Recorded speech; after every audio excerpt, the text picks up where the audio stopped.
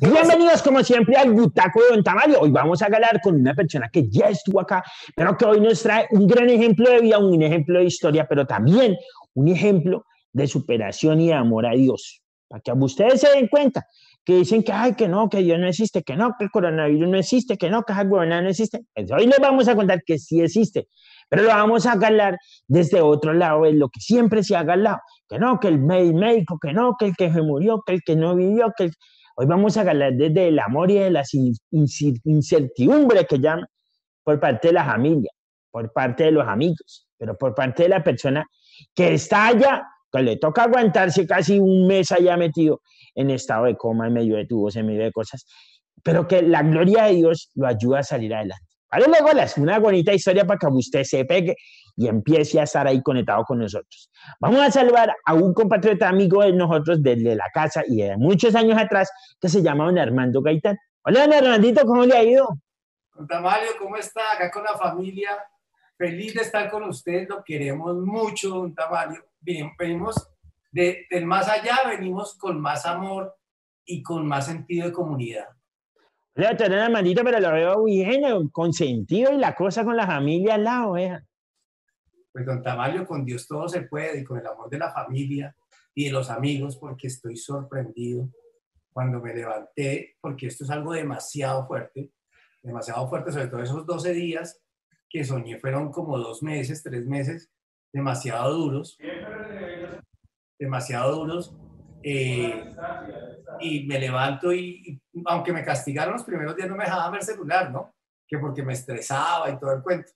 Pero cuando vi toda esa gente linda de todas las partes del mundo y la gente de Ibagué, yo lo voy a ser muy sincero. Yo a, Ibagué no quiero, pero estaba como sentido un poco.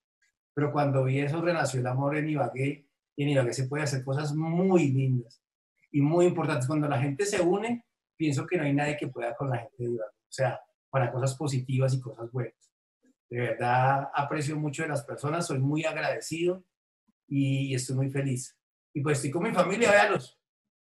Tengo acá a mi esposa. Bueno, presente, presente ahí porque yo veo mucha callada, yo veo mucha callada. ¿Dónde está mi esposa? Aquí estoy. Hola, ¿cómo está, don Tamalio? ¿Cómo vas? Bien, la cosa. La guambita es la hija. La guambita es la hija. Sí, saludos. mi amor. Hola, mi hijo, mi hijo, mi hija que adoro y mi hijo que adoro, yo eso es lo más importante. ¿Dónde está el hijo? Ahí está, y está, a ver si yo, a ver si yo adivino, yo adivino. El hijo, la nuera, que sí era, y el, y el, y el nieto. Exactamente. Exactamente. Ay, bien, Un amigo que es, es como un amigo y alguien que trabaja conmigo como mi mano derecha, que es Fernando, que también se, con, entraron en shock todas las personas, que eso es muy difícil, de verdad, sentir el dolor de ellos es demasiado fuerte. Yo quiero pues que ellos den como un testimonio de cómo se siente en esos momentos y la situación tan difícil, porque yo creo, don Tamario, que me los maduró 10 años, este problema me los maduró y vieron que yo no era de acero, que yo porque me ven siempre como fuerte, vigoroso, que siempre estoy ahí encima de todo, dijeron, oye, este hombre no es de hacer, este hombre nos puede morir. Ellos nunca pensaron eso y fue una gran, algo muy fuerte para ellos. Pero hay que decir una cosa, doctor Armandito, porque vamos a jugar ahorita, pasarnos día poquitos ahí donde usted está, porque es donde más se escucha. Pero para el gola, doctor Armandito, a usted por la gloria de Dios, que hay que decirlo, al que no le guste, pues ahí es respetable la cosa, pero si no fuera por Dios, usted no estaría echando el cuento. No, y es que pasaron muchas cosas con Dios allá también esos, esos 12 días que para mí fueron tres meses. Cosas con Dios. Entonces, para que la gente tenga claro que Dios sí existe y Dios nos da todo, nos da todo. Venga, le digo, entonces, hermanito, empecemos por ahí. A usted ganó con yo el 7 de julio, más o menos, yo me recuerdo. Hablamos ese día. Señor. Habló conmigo el 7 de julio, pero yo me levanté y no me acuerdo. Yo me acuerdo que di una entrevista, pero no sé qué día ni nada. Yo la entrevista la vi, la vi fue después y me pareció muy linda. Yo no me acordaba de nada, de nada de lo que hablé. pero, pero su familia sí la había visto. Ellos sí No. alcanzaron a verla, ¿cierto? Claro, y la gente es que se sorprendió porque salió en la noche y al otro día salió la noticia que yo ya estaba en un coma, que era un coma que pues faltaba cuando me despertaba. Entonces eso sorprendió pues, por la situación del coronavirus que la gente no creía ni Ibagué. Creo que Dios tiene sus tiempos para todo y, y toda esta noticia sirvió mucho y realmente se vio muy profesional y nos ayudó hasta la enfermera a hablar mucho de esta situación. Se recuerda, doctor, que galamos hasta hay unos medicamentos que dice el dióxido de cloro y un poco no de pendejadas que es que eso lo cura y que eso y todo el mundo anda comprando esa vaina como locos acá en Ibagué en todos los países. Sí, Y eso, ella nos contó también, por ejemplo, cuando ella se quita la ropa esa y la echa en una caneca, que la gente dice, ay, no, es que eso qué peligro. Porque después de eso, acá entrevistamos a un médico en el espinal que lo sacaron corriendo y es que porque iba a contagiar a todo el barrio de todo. Es que hay mucha ignorancia y mucha desinformación.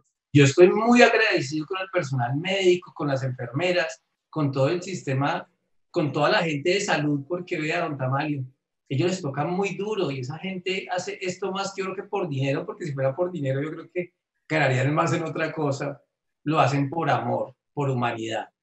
Es algo muy lindo, yo quedé muy agradecido con, con todo ese personal de salud y, y de verdad lo llevo en el corazón y uno no valoraba eso, pero a uno le tiene que pasar las cosas para valorar. Bueno, empecemos a ver la cosa. Yo me recuerdo que a usted dijo, yo tengo ahí una cosita, pero ya estoy bien, me está un poco, tenía una manguera en la- acá en la nariz. Oxígeno. Exactamente. Y entonces yo dije, no, pues la cosa va buena. Cuando al otro día salió el tema, y yo dije, uy, esto manes habla mucha mierda. Yo, pensé que también estaban diciendo cosas que por exagerar la vaina. Yo decía, hablan mucha mierda, eso es verdad. Cuando la cosa empezó a sonar, y un amigo de usted y de yo y de la otra, ¿cómo es que se llama su esposa? Alejandra Sánchez. Alejandra. De Alejandra, el doctor Don Oscar González, el gordito. Y el gordito dijo, no, mire, sí, a yo me escribió la doctora Alejandra y me, cuando escuchamos la voz de Alejandra, pues ella muy angustiada y la cosa, yo dije, mierda, la cosa es en serio. Ahí a ustedes la guía les cambió para la familia y les cambió para los amigos y para todo el mundo. Porque no era lo mismo que usted tuviera ahí una mangarita con oxígeno a que ya estuviera en estado de coma, en una UCI y entubado. Eso lo pueden decir más ellos que yo, don Tamayo. En ese momento, y ya vamos a calar por eso, con ello ya vamos a calar, porque apenas doña Alejandra hace así, se limpia los ojos.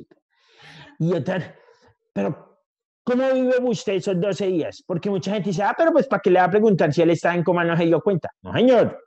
Una cosa es lo que vive la gente allá y otra cosa es el que vive el paciente con estado de coma, ¿cierto? Oiga, eso es una locura. Eso es una locura, eso es una película. Yo ahora lo digo con entusiasmo, pero eso es otra batalla. Una batalla muy fuerte. Eso solo me, me mandaron a batallar y a batallar y con muchas pruebas, pero que ante todo tenía que tener la fe intacta.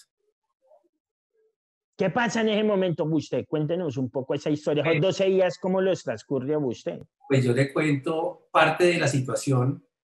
Yo solo sé que, que me levanté, estaba, estaba como una nevera ahí donde ponen los muertos, ahí que la gente ya está como, me- ya está muerta. No me veía la cara, no me veía la cara, me veía solo el cuerpo y veía a todos mis familiares llorando. Que todos los familiares viajaron a Ecuador y, y los veía llorando. Que Armandito, ahí sí, pues como siempre Armandito lindo, no, que mi familia me quiere mucho pero que Armandito y Armandito y todos llorando.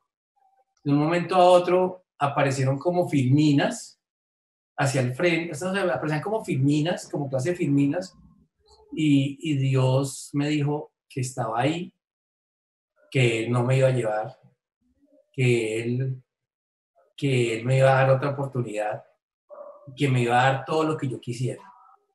Armando le va a dar todo lo que quiera, Armando, confía en mí. Armando, eh, lo único que no quiero, no voy a decir ahora lo que dijo, lo único que le pido es que no haga esto si no pierde todo. Eh, se me pareció raro. Y después Dios me dijo, lo, solo le pido, no nunca dude en mí, nunca dude en mí, yo siempre voy a estar a su lado. Y me mandó esta historia, me mandó esta historia y, y eso era un cuento como en la vida real. Esos 12 días empezaron ahí como cuestión de la vida real, pero fue una historia donde apareció una ciudad de la costa. Yo estaba haciendo negocios, tuve muchos problemas, apareció como, como, como que muchos problemas, inconvenientes, problemas con la familia, con los mejores amigos. Eso se me armó una película no de 12 días, don Tamario, de tres meses. Tres meses en mí pasaron en esos 12 días. Pero cosas muy fuertes, muy fuertes que después tendremos que hablar, que son cosas de otro mundo, de otro nivel, pero que, las, que uno a veces desiste, quiere desistir de la vida. Por eso yo digo que la gente que, tiene, que los mandan allá tienen que ser muy fuertes, porque a veces uno, hay momentos que yo me quería ir, que yo ya quería decir, no, yo me quiero morir, ya, ya me toca muy duro con la misma familia de uno, con los mejores amigos, con cosas de la vida que le pasan a uno, muchas pruebas que usted, yo era luchando y luchando, pero yo me acordaba lo de Dios. Nunca dude, entre esas pruebas aparecía como cuando ya estaba yo que la botaba, aparecía como un rington suave y aparecía mensajes de Dios mostrándome que, que tenía que seguir adelante. Y yo seguía adelante en esa lucha, pero eran momentos demasiado fuertes. Le cuento que esto es tan real que cuando ya me levantaron y me dijeron, base para piso, usted ya está negativo, ya hicimos dos pruebas y aparece negativo, eh, yo llegué allá, me dejaron día y medio solo, como desubicado la vida, no podía caminar, don Tamayo. Pierde uno la movilidad no podía caminar. Y yo estaba bravo con Alejandra, con mi hijo, con la mayoría de personas. Porque allá peleé con todo el mundo. Imagínense, pruebas que, que son muy fuertes y, lo ponen, no sé. Y hasta cuando al día y medio dejaron entrar a Alejandra. Alejandra, hola, mi amor. Y yo, hola, todo serio. Imagínense porque estaba en mi realidad. Me lo imagino, usted, que es la hora de llegar, vea. Yo hace dos días desperté y a usted llegando hasta ahora. Claro, me la imagino a usted allá en el gimnasio y yo acá solo, ¿eh? ¿Sí te decía, Así fue. No, estaba muy tocado con todo el mundo. Tamares que son pruebas muy duras. Lo peor que la gente que usted más quiere lo ponen como en pruebas de amor y donde realmente yo salí, bueno, entonces yo salí, yo, ¿qué Todo serio. Y que ya viene eso, y yo, ah, bueno, que venga. Pero todo como bravo y ellos todos lindos, don Tamario, ya abrazándome, toda nerviosa, y ya no sabía qué decirme porque el médico le dijo, no, este, hay gente que no se acuerda de nada, como hay gente que aparece con cosas como yo, ¿no?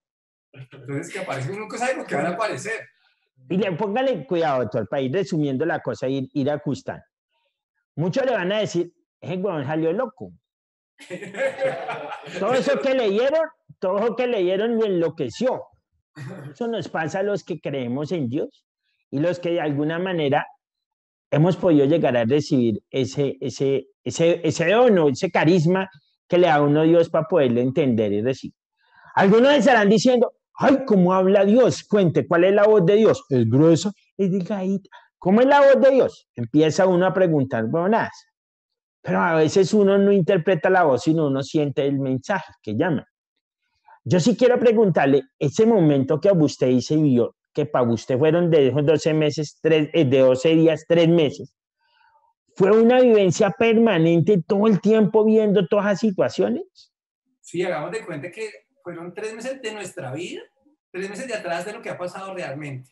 O sea, tengo todo muy descrito, hasta me iban a matar, me pegaron un tiro, don Tamal. Imagínese que yo nunca me he metido en problemas así tan graves, me pegaron un tiro, me, me estaban secuestrando para secuestrar a otra gente, me ocho. Esto fue una película. Usted vio temas, no que haya había vivido en su vida, sino que le fueron apareciendo situaciones, muchas circunstancias, de angustia. De mucha angustia, mucha angustia, hubo mucha traición, hubo muchas cosas muy terribles. Como por ejemplo las que usted diga, puedo contar para no, sí, porque de pronto tendrá sus reservas en algunas cosas, pero sí es bueno conocer eso. ¿Qué fue lo que usted realmente vio? ¿Qué vivió? ¿Cómo sintió ese, por ejemplo? Porque es que ah, yo estoy pensando una cosa, pero quiero que primero me lo cuente. Porque a veces, muchas veces Dios lo pone a vivir lo que en su momento vio, pero en la época de uno, la traición, la angustia, cuando le pide a Dios el cáliz que le, le, calme esa angustia, ese dolor y que le evite el dolor, pero si es la voluntad hay que hacerlo. Eso lo vive uno hoy en día en nuestra época. Realmente, ¿qué fue lo que usted vivió? ¿Qué, qué, qué procesos vivió usted allá? Cuente a ver. Viví momentos totalmente opuestos, como que mi esposa había una traición, que me había abandonado totalmente, que ella se había apoderado de las cosas, que mi hijo también me había abandonado, que no le importaban las cosas y que él hacía su voluntad, que, que los amigos míos, que son empresarios muy fuertes, se reunieron y que me dieron la espalda, hablaron de mí, me dieron la espalda, eh, viví un secuestro que me hicieron que porque yo ando, ando con gente pues importante, querían secuestrarlos a ellos y me dieron un camino a mí para secuestrarlos a ellos.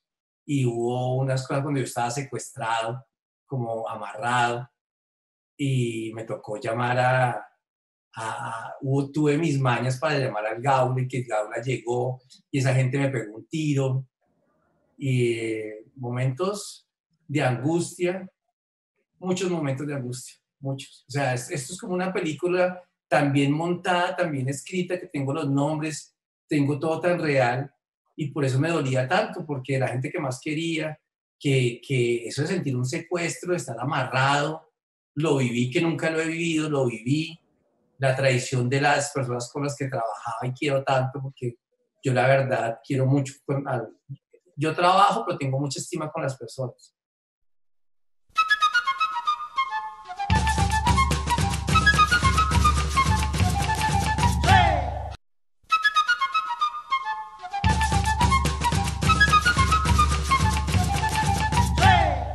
Ya, Mando, venga, pero usted está contando cosas ahí que a uno lo ponen a uno a pensar, porque usted dice que nunca ha vivido eso, pero ¿será que lo estaban también colocando a prueba en su momento por la fe? Sí. ¿Qué tanto le cree uno a la gente, al Dios, por ejemplo? No, eso son pruebas de fe, como me dijo él. Nunca dude de mí cuando me mandó esa película. Nunca dude de mí. Y yo, yo pienso que también en esa, en esa parte hubo perdón mío, perdón, pero estaba bravo un poquito cuando me levanté, ¿no? Eh, que uno tiene que vivir con el perdón, sin resentimiento, don Tamario. Yo creo que, que eso, es una, eso es muy importante para poder vivir mejor y vivir feliz, porque los que únicos que sufren son las mismas personas que tienen los resentimientos. Y, y confía en Dios, en Dios, como me dijo, nunca dude, y nunca pues me pasó nada y al final todo terminó pues en algo feliz que usted está viendo, viéndome acá en carne propia, que es algo muy difícil. Usted me está diciendo eso y a hoy me llegó la palabra. Yo todos los días les envío a la gente que quiera, me escriben en el WhatsApp y yo les envío, todos los días les envío el Evangelio y dos padres que nos hacen reflexiones a este suscrito. Yo se las envío a la gente. Y uno de, las, de, de, los, de los mensajes de, de hoy decía Santiago 4.8 Acérquese a Dios y Él se acercará a ustedes. Pescadores, limpiense las manos, ustedes los inconstantes, purifíquese en su corazón. Yo no sé cómo es la cosa y cómo funciona con Dios, pero hoy precisamente que estamos grabando y que estamos galando eso, llega una palabra que creo que sintetiza lo que usted está diciendo. A usted de alguna manera eso le permitió limpiar su corazón, limpiar su alma, y aprender a entender, por ejemplo, cosas como que hay que confiar en Dios, que hay que perdonar, pero que también hay que saber entregar las cosas y hacerlas de cara a Dios y no de cara a otra persona o al que tiene la plata o al empresario o al yo, sino siempre de cara a Dios. Es lo que yo entiendo y más con lo que me llega hoy. Vea, todo pasa por algo, Tamario. Así como la entrevista que tuvimos los dos, que salió un día antes de que apareciera mi coma, aparecía por todos los medios que yo estaba en coma. Eso, fue eso todo pone en su sitio y eso le ayudó mucho a la gente de Ibagué. Usted no, vea, yo he recibido muchos mensajes, muchos, y Armando, yo lo vi me puse en su lugar. Yo era desjuiciado, salía, yo no creía, y mucha gente se puso en mi cuerpo y en el sufrimiento de mi familia. Dijo, no, no, yo, yo tengo una hija, yo tengo un hijo, yo tengo una esposa, tengo unos padres, yo no puedo poner, ni quiero estar yo, ni quiero que ellos sufran eso. Eso es lo que yo entiendo. Ayer yo vi un video, don Tamalio, que me gusta que usted esté en la jugada, como siempre está, de unos muchachos y de, y de alguien que reparten comida. ¿Cómo es eso si ellos reparten la comida a la gente y aparte eso no se están cuidando? ¿Qué pasa? ¿Dónde está la conciencia ciudadana? ¿Dónde está?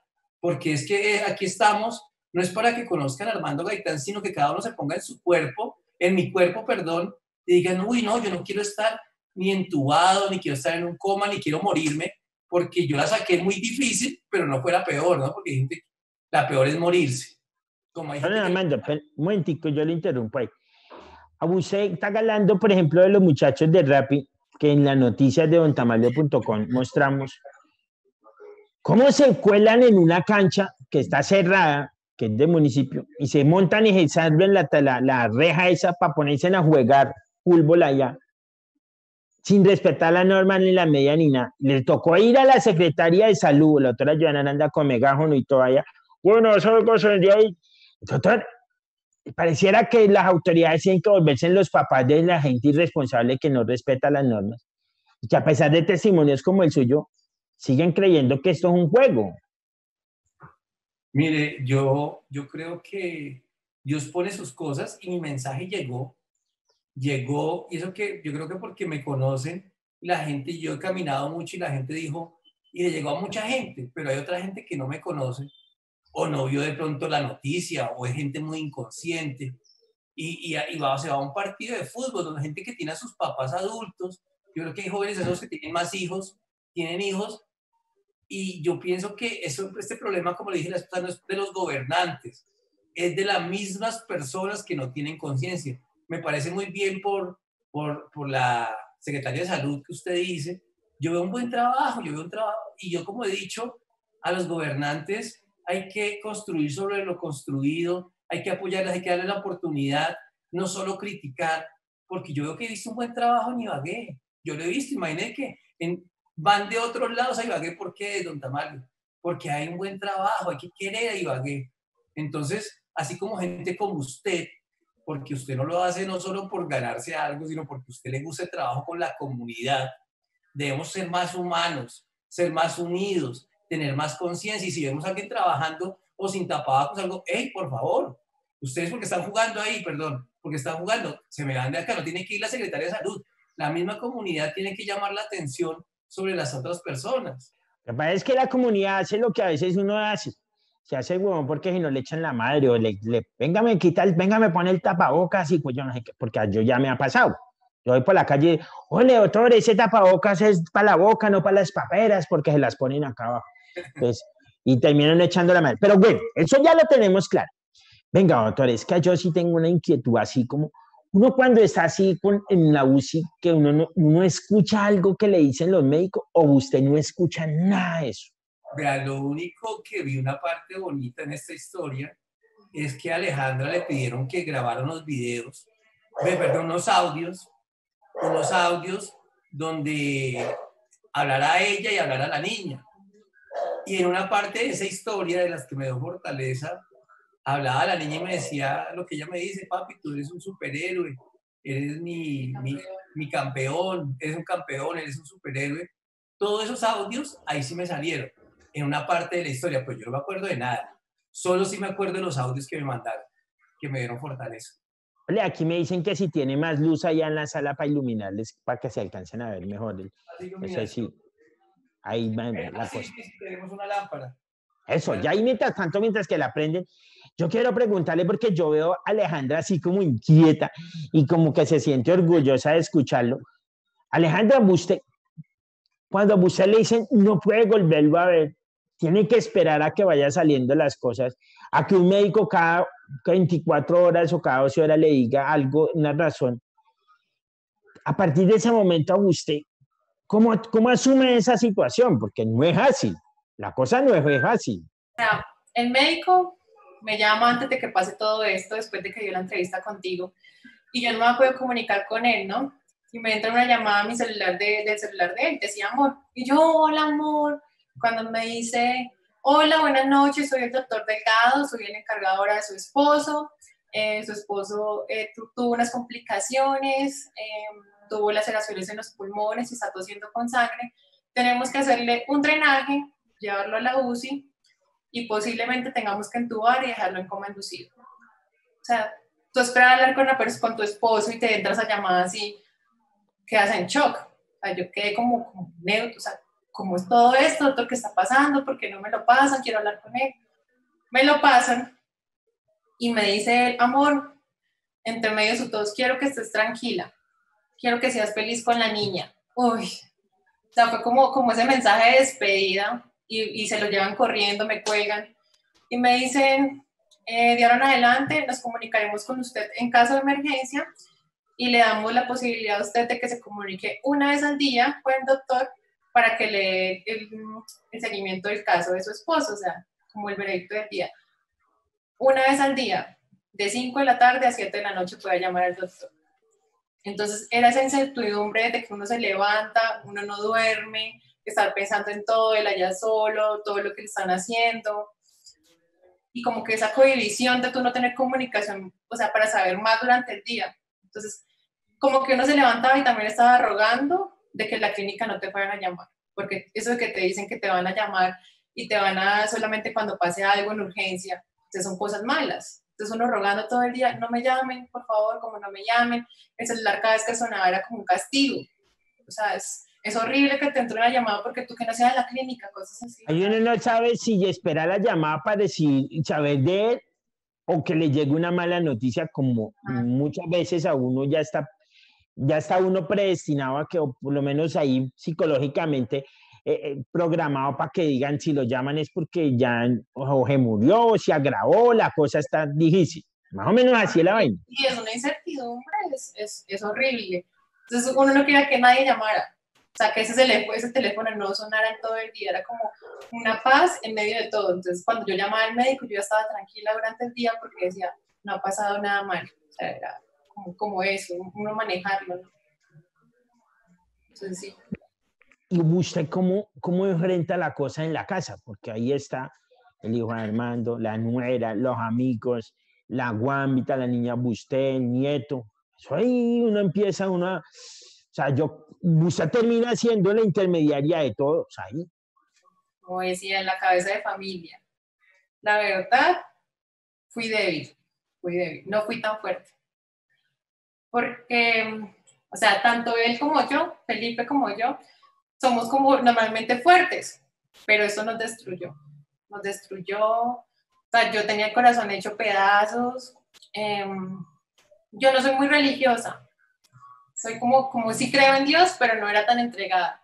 Desde todo eso, o sea, me arrodillaban llorando todos los días con su cadena, porque él me entregó su cadena de la Virgen.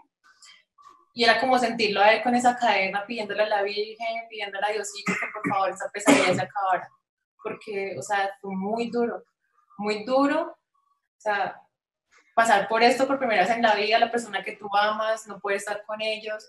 Mi hija me decía, mami, tranquila, sé fuerte, mami, vas a estar bien. O sea, ella tuvo que estar... Era la que le daba los ánimos. Sí, imagínate, en vez de yo ser el apoyo de ella, ella era pendiente de mí, me consentía.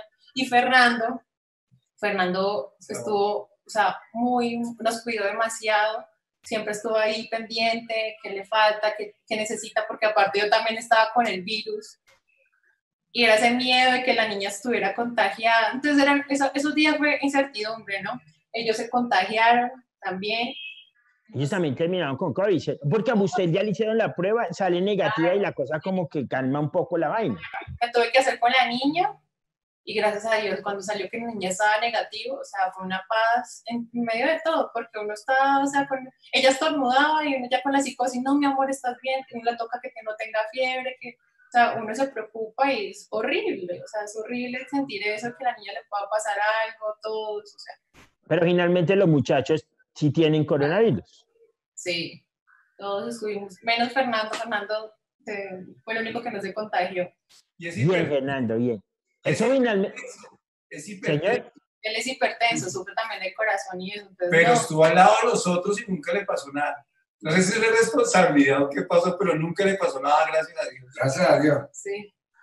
Eso que dice ahí ustedes es cierto, a veces uno desde que haga las cosas de corazón y esté con Dios, nada le va a pasar. Dios lo por completo, por completo me entregué, o sea, se lo juro que ahora, yo le digo ahí como el día más tranquilo, que, o sea, lo más tranquilo de mi día es en las noches, cuando oro con mi familia, ya siento la paz, le doy gracias, porque, o sea, estoy tan agradecida con Dios, con toda la gente que, que oró por Él, por nosotros, porque también oraron por nosotros. Fue mucha la gente que se unió y nos apoyó espiritualmente. Entonces, súper agradecidos. Alejandra, a usted no se le va a olvidar esto que le va a decir y para la gente que nos está viendo. Familia que ora unida, mantiene unida. Si a usted lleva a, la, a Dios a la casa, Dios no se va de la casa. A veces dicen, ay, pero es que Dios no está. Pues si a usted no le golpea o no le abre la puerta, pues él no entra. Sí. Recuerdes el libre albedrío. Usted verá cuando lo busca. Lo que pasa es que a veces lo buscamos cuando estamos en la mala. Cuando estamos en la buena no aparece. Lo importante, digamos, no es olvidarse ya de él. Él ya está aquí con nosotros y así va a ser ya por siempre. Qué bonito escucharles. Sí. Cuando usted se siente solita y dice, bueno, aquí Armando era el que mandaba, mangoneaba, ponía las cosas, ahora me toca yo, pero yo tengo la enfermedad también, yo tengo que velar por la guambita, por el guambito, por... ¿Cómo vive usted ese cambio? Esa... Porque no es así.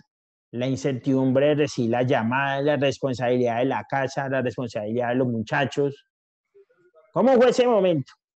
No, pues como te digo, gracias a Dios Fernando estuvo muy pendiente de nosotras, porque yo estaba débil, estaba en una depresión tenaz, o sea, yo duré una semana entera llorando, lloraba, lloraba, desde que me levantaba todo el día, alguien me hablaba, lloraba, con mi familia era como que pasaba más comunicándome, ellos me trataban de tener con tranquilidad, todo esto, yo me comunicaba con la familia de él, y todos en medio de esto, nosotros nos unimos muchísimo, nos unimos muchísimo y nos apoyamos entre nosotros mucho. Entonces, como que nos, nos brindamos ese, ese apoyo y entre todos salimos de esto, ¿me entiendes? Con trabajo en equipo, en familia. Y mucha gente que quiere, que quiere a mi esposo, muchos amigos, nos brindaron también su apoyo. Entonces, Alejita, mira, te, mandamos estos chocolates, estos jugueticos para la nena, para que la nena esté bien, no se ponga aburrida.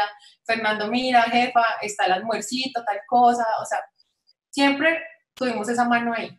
Nunca estuvimos solos. Y Armando, que tiene una cantidad de chicharrones en trabajo y en todo esto, me iba contra, o sea, como que salía cada día algo nuevo del trabajo y yo, Dios mío, este hombre con razón vive estresado, o sea, porque él se lo pasa a estresado. Yo decía, o sea, yo en un día ya estaba que decía, no más, por favor, no más, ya. Le toca muy duro con su trabajo y todo. Pero pues la gente estaba llena como de comprensión y fue todo más manejable y tuvimos mucho apoyo. Doctora Aleja, y en ese momento cuando usted realmente se doblega, dobla la rodilla y le... ¿Cuándo usted entiende que es por ahí la cosa? No, o sea, lo sientes como de corazón, como que como que se abre y sientes como esa paz interior. o sea, lo sientes y sabes que ahí es. Entonces hice mis novenas, todos los días, como te digo, sigo orando con mi familia porque aparte yo también era un poco más fría con mis papás porque ellos viven allá en, en Mariquita, Tolima y yo hablaba cada dos días con ellos por teléfono, no todos los días y con eso también me uní más a ellos y están contentos y porque, o sea, aparte de que me uní a ellos, abrí mi corazón espiritualmente. Entonces, ese fue el camino, eso es lo que me daba paz, tranquilidad y confiaba de que Dios y la Virgen me iban a regresar. Venga, Alejita, ¿y cómo es eso que a usted de ahí medio y no iba por allá a visitarlo ni nada? Eso sí, usted... No, hablar, hablar, porque ellos viven bien lejos, ¿no? O sea, imagínate, Mariquita es más lejos que Ibagué y todo. Sí, claro, pero venga, yo le pregunto, ¿es como así que él va despierta día y medio y usted después de día y medio ves que ah, aparece ahí? Ya, eh, me llama, me dijo, y, o sea, yo estaba hablando justo con la aseguradora y me entra esa llamada del doctor. Y es esa llamada que tú no quieres contestar esa llamada que te da pánico, o sea, uy, o sea, si yo no hubiera estado sentada, a mí se me cae el celular. Yo no sabía si contestar, comencé a llorar, temblaba, o sea, fue el peor susto, o sea, ya dos veces que, que, tu esposo cuando no encontrábamos clínica, después tu esposo cuando le pasa lo de los pulmones, y llega hasta llamada, entonces uno dice, no, ya, por favor, no más, no más, o sea, no más malas noticias, no más tragedias, no más. Y ya cuando como que el doctor iba a colgar contesto, y yo, doctor, por favor, por favor, no me va a decir nada malo, se lo suplico que no, no, no aguanto, le dije así. Me dijo, no, no la quería asustar, por favor, es una muy buena noticia, no me puede aguantar, eh, a su esposo ya lo estamos despertando, ya le tuvimos que quitar la intubación, entonces ya le hicimos la prueba, vamos a esperar los resultados para ver si ya lo podemos pasar a, piso, porque ya sale en la zona de COVID. O sea, es como, tú sigues llorando, pero de alegría. Entonces yo lloraba, ay, doctor, gracias, sí, es que... No el cruce de sentimientos es así, ¿no? es horrible, es horrible porque en serio, o sea, uno, yo no quería contestar, o sea, tenía miedo a esa llamada, tenía pavor. Entonces, cuando me dice esas buenas noticias, yo lloraba de felicidad y le daba las gracias a él, le daba las gracias a Dios, llamé a la familia de llamé a mi familia, llamé al hijo, o sea, todo, todo, todo. Como que esa explosión de alegría y uno todo llorando de felicidad. Entonces me dice, eh, lo vamos a pasar a piso, todo, pero toca esperar hasta, estabilizarlo porque puede entrar en shock tenemos que estabilizarlo, controlarlo y ahí ya puede usted ir a verlo. Entonces fue por eso que me demoré día y medio y fue tal cual como usted dijo cuando llegué, o sea, lleva así, temblando, con el corazón que se me salía, uno no sabe cómo, cómo reaccionar, los médicos te preparan, o sea, después de coma, la memoria queda confundida, puede que te reconozca, puede que no, y yo así, yo rogando, por favor, que, que no se olvide de mí, ¿no? O sea, la niña, todo, y es que se olvide las sets, pero de mí no. Entonces, llego, claro, abro la puerta, ya me médico me ha preparado y llego, y él me mira con esa cara de que me quería matar, ¿no? Y a mí que casi me desmayo entrando, primero que todo, o sea, y él estaba con una doctora y me dice, ¿por qué llega hasta ahora? ¿Por qué no ha venido antes? Y me miraba así reclamándome, yo, mi amor, así llorando, temblando, me arrodillo, le cojo la mano, le doy gracias, mi amor, por favor, ya te voy a explicar. Y él, no, él era bravísimo. Entonces me senté, le hablé bien, le expliqué todo y, y como que se calmó, ya, ya entró en confianza conmigo, pero ahí bueno, ya salió con todas las películas que te estaba contando a ti. Entonces yo entre todo me tocó manejar, tocó manejar eso, fueron tres días de proceso mientras como que se le salía esa sedación porque quedaba el cuerpo totalmente intoxicado, entonces me tocaba como llevarle la corriente y no podía contradecirlo porque para él eso fue una realidad. Entonces no puede hacer un choque de eso. Doctora, en esa parte, en ese momento, cuando usted le dan eso, usted se acordó de Dios. Usted llamó a todo el mundo. Claro, sí, lo primero que hice, pues te digo, fue darle gracias a Dios y a la Virgen. Y cuando me la arrodillé a él, que lo vi, que le cogí la mano, lo besaba la mano y, y gracias otra vez a Dios, le, o sea, yo todas las mañanas, todas las noches, todo el tiempo le doy gracias a Dios y a la vida que me lo regresaron. Y está aquí, y en cuatro días ya estaba con esa memoria casi perfecta, comenzó su carácter. O sea, yo me fui de la clínica un día porque estaba agotada, estaba agotada. Y me vine a la casa a bañarme, a descansar y eso, y se quedó con Fernando. Y apenas yo me fui a la clínica, le llevaba la tablet y todo eso, y veo el video que hace en Facebook. Y yo, ya subí un video, todos me llaman, ay, que ya vimos Armando, que está. Y digo yo, yo me fui, se volvió otra vez ya a Facebook, para Tulero, todo. Entonces digo, ya. Se puso las gafas y todas las cosas. o sea, como que me dio alegría porque dije, mi esposo está volviendo, o sea, hace parte de su personalidad y, y, está volviendo a ser él. Y después el carácter, porque tuvimos problemas con la aseguradora, todo eso, y ya lo veía yo de confrontar todo y decía, ya volvió mi esposo, este es mi esposo.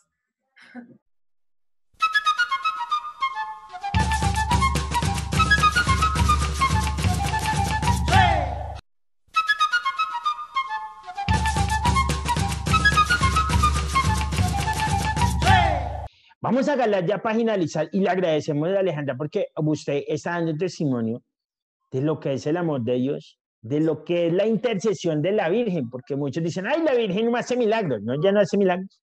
Ella intercede con el Hijo. La muestra, tiene su cadena con la Virgencita, él es muy devoto de la Virgen y de Dios. Pero venga, yo galo rápidamente con el Hijo ahí antes de que se me vaya para el golas, que es que vamos a ganar con el Hijo. Porque no hay cosa, y esto nos va a ayudar a, a hacer entender que no hay cosa que la Virgen no pueda pedir que el Hijo no conceda. ¿Cómo es que se llama el Hijo? Sebastián, ¿cierto? ¿Sí? Felipe. Felipe, Felipe. Felipe, párale golas. Si a usted su mamá le dice, venga chino, ayúdele al vecino, que es que yo necesito que le ayude porque le es buena gente.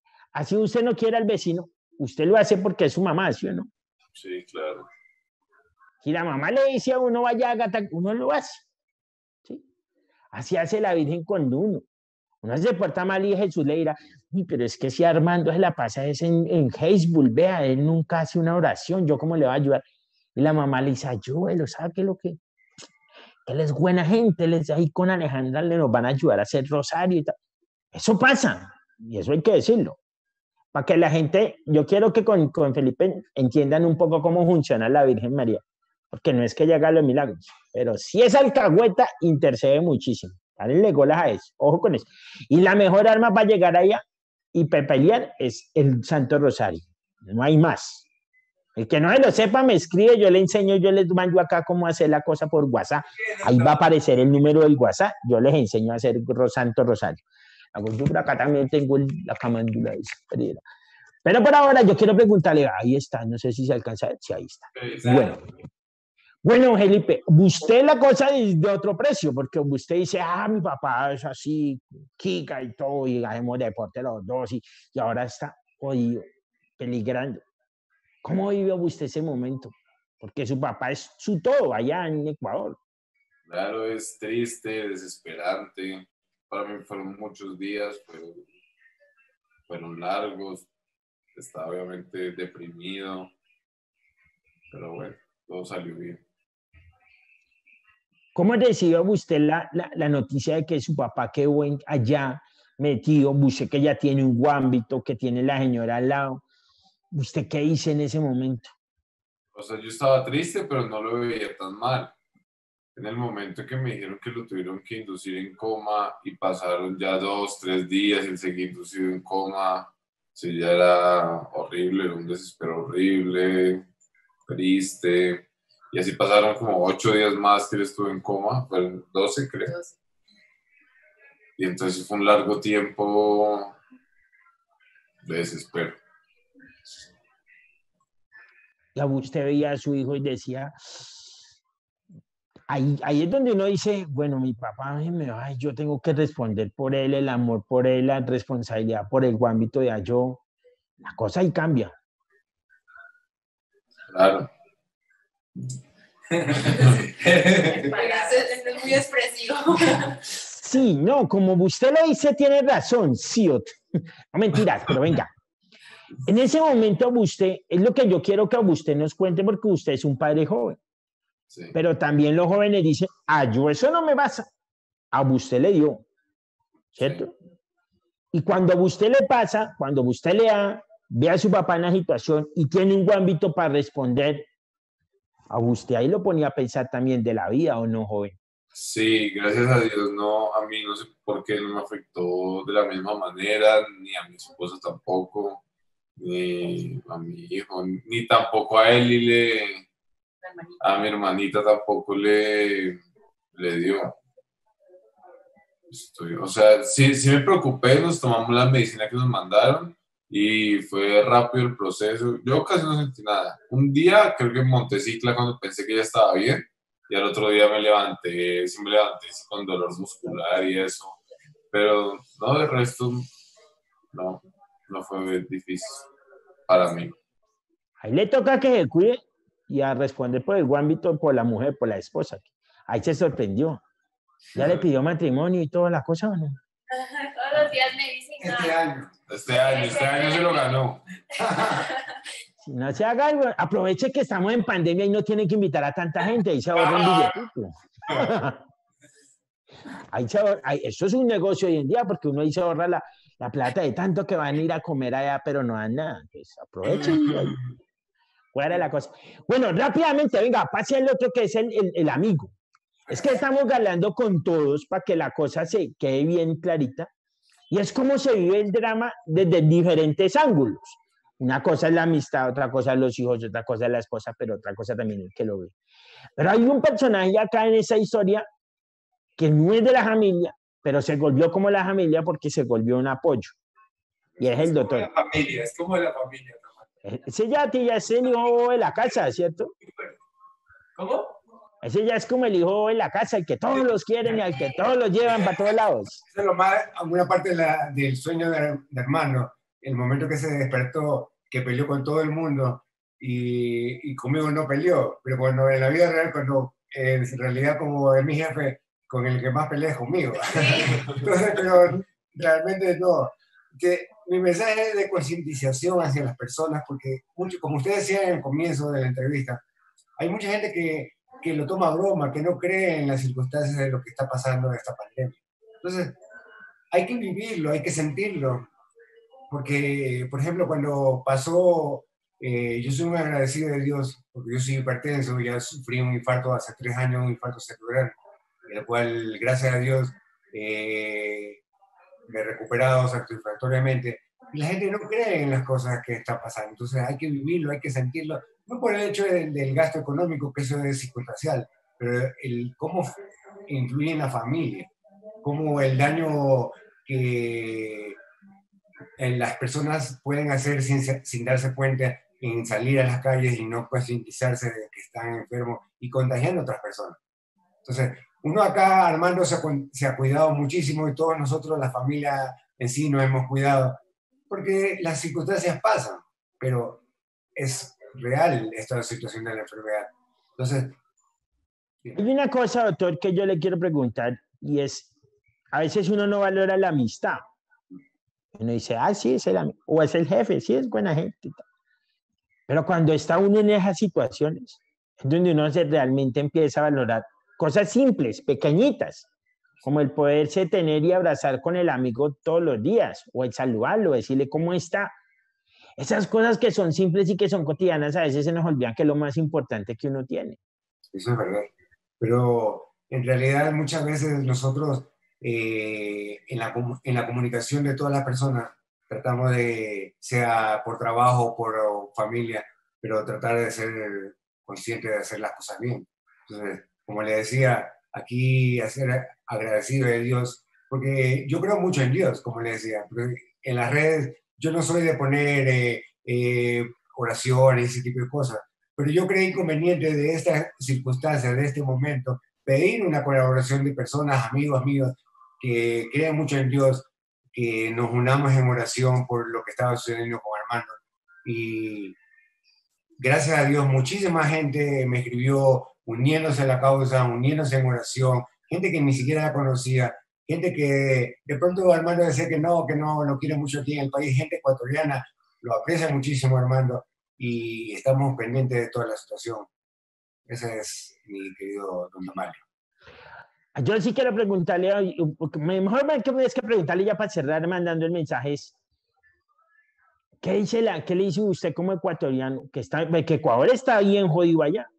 ¿Qué le dice a los colombianos que aún no creen en esto, que la pasan buscando paseos, que se la pasan reunidos hasta con la familia? Ay, no, pues es que mi familia se cuida, yo también no nos pasa nada, reunámonos.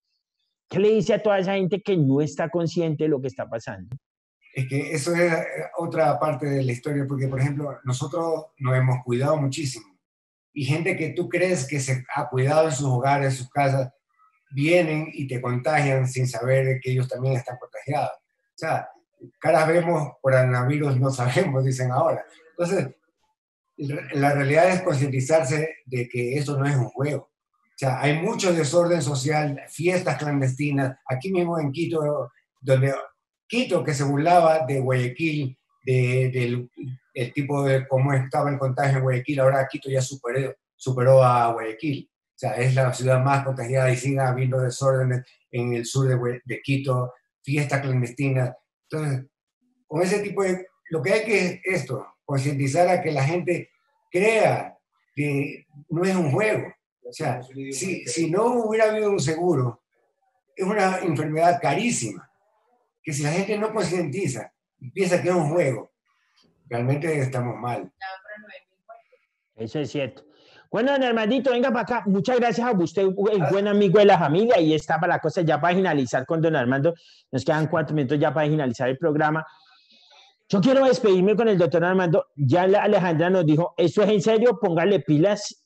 Y yo no quiero que viva la gente lo que vivieron la esposa, los hijos, la nuera que allá está está contenta porque este año sí se va a casar y todo. Me manda la foto, me manda la foto, Pilas, yo ahí la ayudo, yo cualquier cosa me avisa, yo vea, vamos por mi timiti. Venga, doctor Amanda, ya estando en Jamil, estando ahí con todo ya recuperado, bendito Dios, uno se hace una pregunta, y a yo ya me ha pasado, porque a yo ya me han dado varios golpes la vida. Y la gran pregunta es, ¿por qué? No por qué, sino ¿para qué usted está vivo? Eso es lo que usted ahora tiene que preguntarle y con la familia ¿Para qué es que le pasó esto? ¿Y para qué es que a usted está en estos momentos dando la cara?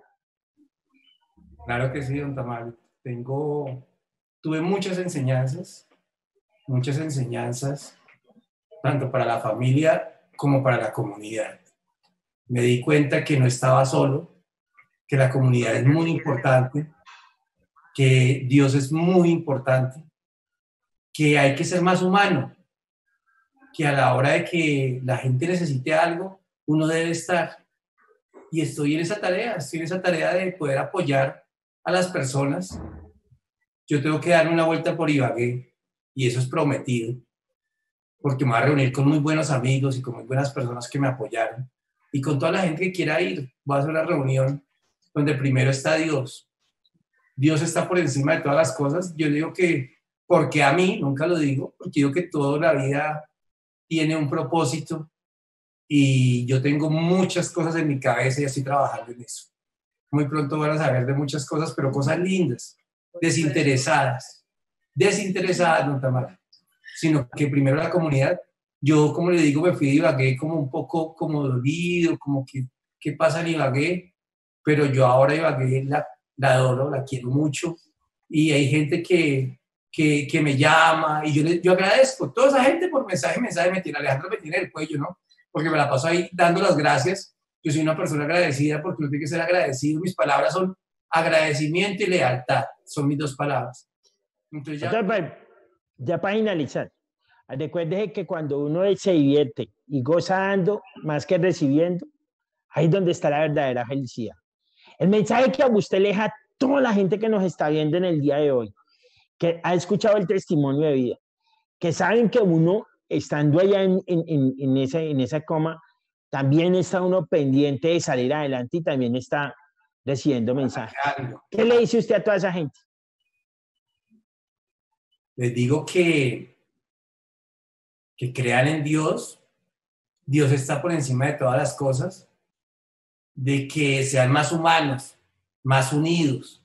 La unidad es la única forma de salir todos adelante. Entre más unidos somos más fuertes, don Tamalio.